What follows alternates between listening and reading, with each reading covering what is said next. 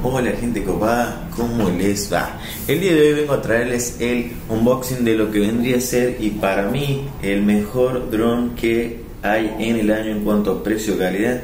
Sin más preámbulo, vamos a la intro. This is Mavic Air 2. You may have some questions. Muy bien, bueno, acá se los presento el famoso y recién llegado Mavic Air 2. Me hice de este Fly Combo. Gracias a la gente de DJI Store Argentina como la única casa autorizada a nivel nacional, pero por sobre todo la atención que me brindó mi amigo Emma, acá le dejo su Instagram em, y la atención es muy personalizada te responden, te mantienen al tanto de todo lo que va pasando y también cabe mencionar que me hizo un par de obsequios, una gorrita y adaptado a la época actual, un barbijo de DJI. Ok, muchas gracias por los regalitos. Vamos ahora a lo que vendría a ser el unboxing. Eh, llevo dos horas o una hora y media fácil eh, sin abrirlo porque lo estaba contemplando, estaba... Eh, se me pasaron un montón de cosas por la cabeza. Pero bueno, vamos a, a sacar las pegatinas.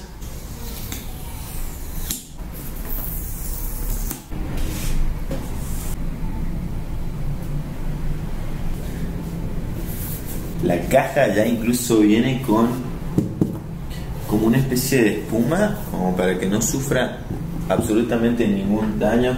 Oh, Dios. Miren lo que es eso, boludo. Miren lo que es esto. Lo que te estaba esperando, hijo de la gran. Sacamos el primer paquete.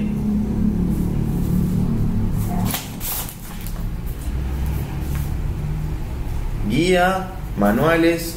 Seguramente los voy a estar leyendo. Hélices Más hélices. Ah, tiene doble apertura. Ah, no tenía nada más. Me ilusioné. Sacamos. Miren lo que es este bolsito. Esto también ya lo mencionaron en un review de Supra Pixel. Eh, lo que es el acabado de cada bolsito es impresionante. Tan es así que la tela es bastante resistente y la verdad que me, me gusta muchísimo la textura por sobre todo, ¿no? Eh, recordemos que esto se lo puede comprar como el dron aparte y también con Fly Combo, en una opinión personal. Y creo que la opción de Fly Combo quizás es la mejor, por el hecho de que después al fin y al cabo eh, te quieres comprar una batería más y después que el bolsito y bla bla. Y al fin ya hiciste, gastaste más de lo que ibas a gastar en un Fly Combo. Pero obviamente todo esto depende de el bolsito viene con, obviamente, con la tirita, esto se prolonga seguramente. Viene con un agarre acá en el costado, un bolsillo en la parte anterior, que es justamente donde tiene la firma de DJI, ¿no? El cierre más grande. ¿Saben por qué me gusta? Yo utilicé un par de estos bolsitos y cuando el cierre está hacia adentro da mucha más seguridad que tenerlo arriba o porque justamente va pegado contra tu cuerpo, ¿no?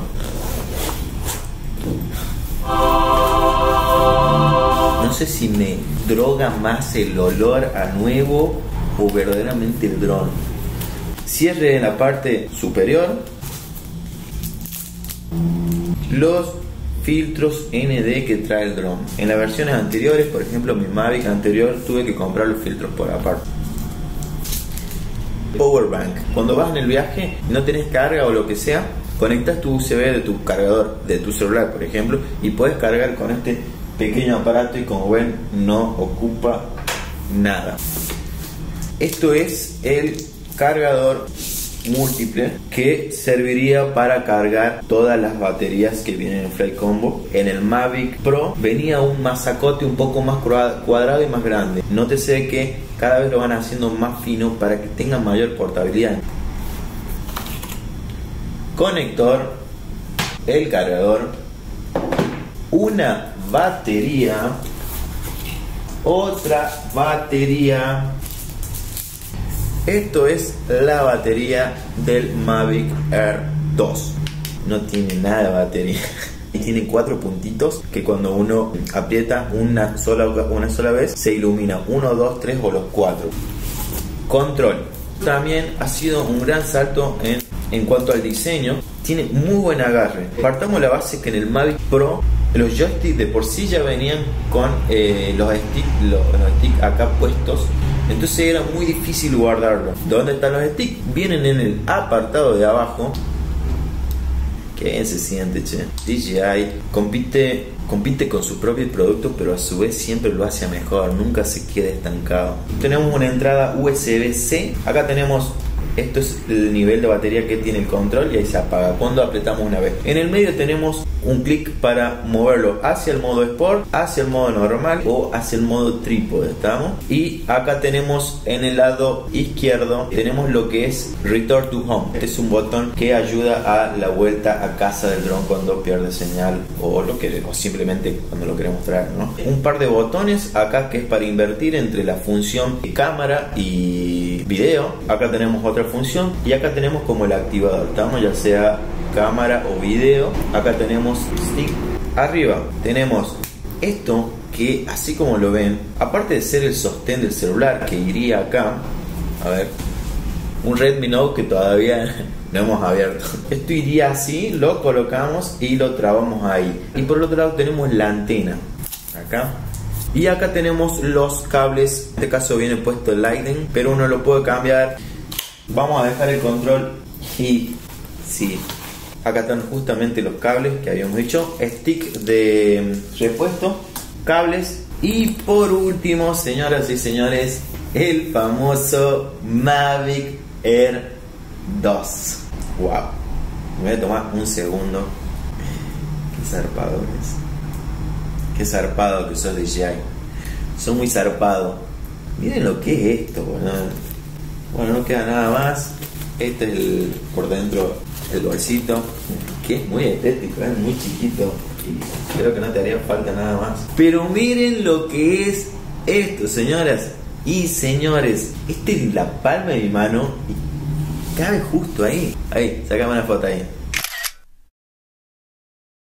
Es una bestia. Es, eh, ahora, hacer un dron con estas características y en este tamaño, hay mucha ingeniería y muchas horas acá. Cada centavo que pagas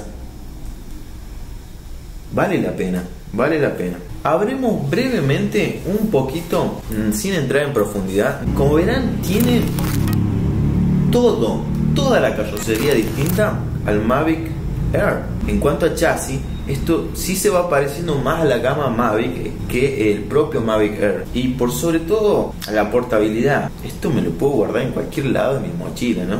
Abramos un poquito. Brazos delanteros y obviamente los brazos traseros que se abren de esta forma. Esto es el Mavic Air 2.